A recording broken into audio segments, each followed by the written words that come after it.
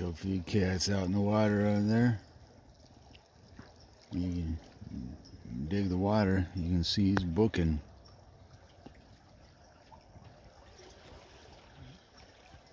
Yeah. Way down yonder. Around right by where the crop of trees is kicking out. I think that's about proximity where we was at last time.